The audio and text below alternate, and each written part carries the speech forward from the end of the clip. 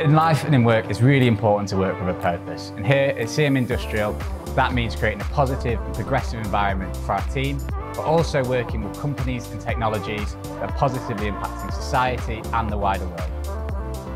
You know, we all work in really cool markets, and with mine, I look towards digitalising the energy sector. I'm working with a startup that's on a mission to solve the global plastics crisis. I am genuinely really excited by the prospect of working with clients that are tackling water scarcity, and I'd much rather work with a client that is doing good in the world than a company that's just chasing revenue.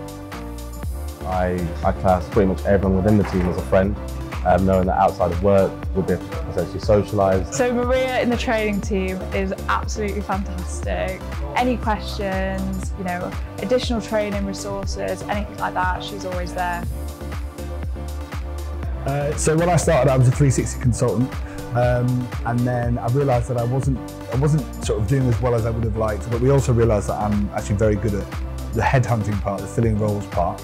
Um, so we sat, sat down with the management team and we sort of decided that I'd do a delivery role. And since then, I think we've hired like 10 plus delivery consultants. Yeah, the marketing teams are, I would say, instrumental in how we as consultants push our own personal brand. So we can create articles, we can produce podcasts, we can host webinars, all centred around the markets that we do it in. The benefits of working for CM Industrial are the four-day week, a huge emphasis on well-being, a really supportive team and also a big focus on personal and professional development as well.